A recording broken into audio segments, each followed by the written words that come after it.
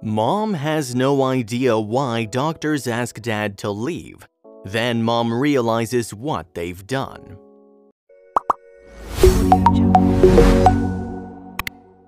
She had waited her whole life to have babies of her own, and now the mother to be was racing to the maternity ward after repeat IVF treatments finally took. But after doctors told her husband to leave the room, she felt all alone. Then she realized it was probably for the best that he wasn't there. Carrie had always dreamed of having a big family. Before tying the knot with the love of her life, Craig Kaczynski, the couple had discussed their hopes of becoming parents. Once they were married and had their house in order, they thought they were finally ready. But as is often the case, life had other plans.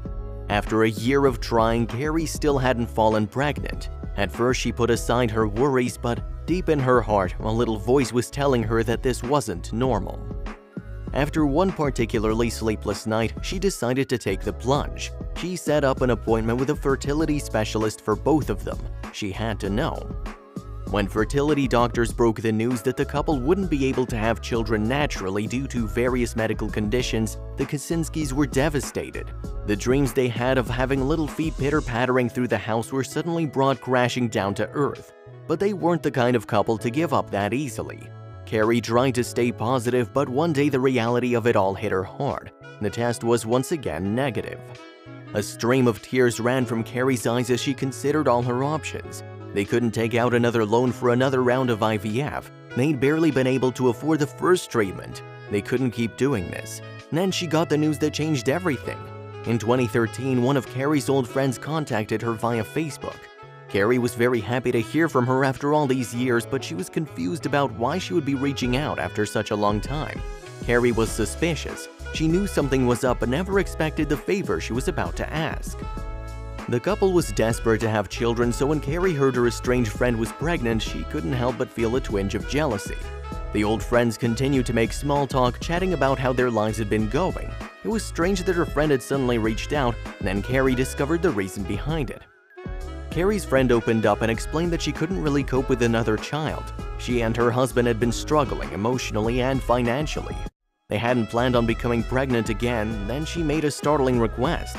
When she said that she hoped that the Kaczynskis might adopt her baby, Carrie was ecstatic, but she could never have imagined the consequences that would follow. On February 28, 2014, the twins Adeline and Kenna were born in an Ohio hospital. Carrie and Craig couldn't wait to see their babies for the first time. However, they were prudent and decided to adopt the children on a trial basis only. Then, one year after the start of the trial, Carrie called the birth mother with some news.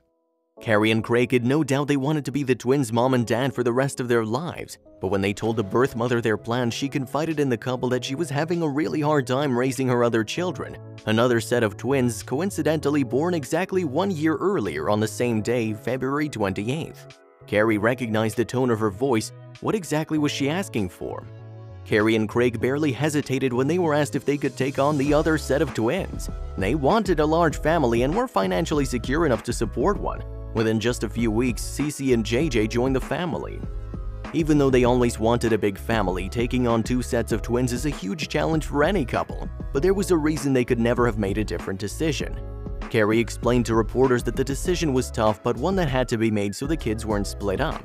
It was difficult, we were trying to get pregnant ourselves, but they were siblings, so that was definitely part of our consideration. We wanted to keep them together, Carrie told the Journal Times, but life had a surprise for them. Despite the rambunctious household they now had, Carrie and Craig still wanted kids of their own and hoped that one day a miracle might happen despite what doctors said. Then, just one year later, Carrie felt something she never thought she'd feel. She threw on her coat and asked Craig to drive her to the doctor. When the doctor returned with paperwork, he was silent. Then he turned to Craig and told him to leave the room. Carrie was confused and frightened, but when the doctor looked up and said the three words, they sent a shiver down her spine. Then she realized that it was probably for the best that her husband wasn't there. Carrie and Greg were super nervous. They never imagined they would even be in a position to take a pregnancy test, so the idea that the result might be positive put butterflies in both their stomachs. The positive result was a miracle, but what the doctor had to say next really turned their lives upside down. The couple jumped for joy when they were told Carrie was finally pregnant, but the really big news was that it was another set of twins. Overnight, the family grew from an already healthy 6 to 8 members, finally completing the picture with a baby of their own. Everything was going great for the Kaczynskis until Carrie started feeling twinges just over halfway through the pregnancy. Carrie was only five months pregnant as she sat on her sofa folding clothes and felt she might be having contractions. Both her and Craig were desperately worried that something might be seriously wrong.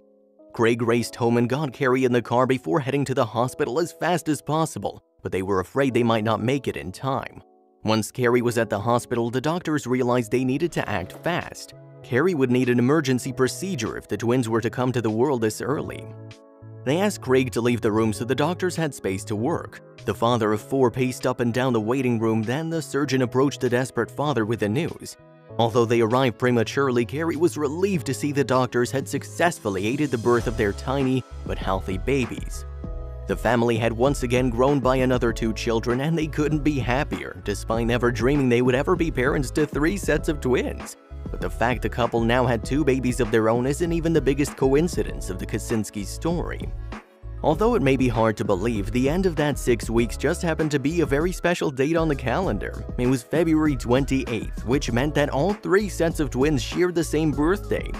The chances of that are highly unlikely, but it made the Kaczynski clan all that much more special and unique. Some felt at the time that the new baby's survival was a little touch and go. After all, they had been born at just 25 weeks, and the babies weighed a mere 1 pound 6 ounces at the time of delivery. They were immediately transported to a special neonatal intensive care unit as they needed special care as well as surgery. After a few weeks and a tough time in intensive care, the babies began to show signs of progress. Despite having undergone numerous surgeries and suffering viral infections, the twins are doing better and have gained 1.5 pounds. They remain stable but in a critical condition due to being born so premature. Despite having a lot on their hands at home, both Carrie and Craig try to visit the twin girls at the hospital as often as possible. Carrie would make her way once a day to the Children's Hospital of Wisconsin. At the same time, Craig visited the girls three times a week when he could get the time off work. The Kaczynskis are very religious, pray regularly, and have a deep faith in God. The fact that all six children share the same birthday proves in their mind that it was all part of God's plan. Cece and JJ were born on February 28, 2013. Adeline and Kenna on February 28, 2014, and Carolyn and Clarissa on February 28, 2016. As Carrie told the Journal Times, we think it's definitely meant to be that we'd have all of them. It's just God's way of saying, here, I'm giving you these children as a blessing, and I'm gonna make it interesting and fun for you by having them all born on the same day. It just kinda happened all at once. You can't fuss with the stuff too much. You're just trying to put out the big fires and hope that the little fires aren't too serious.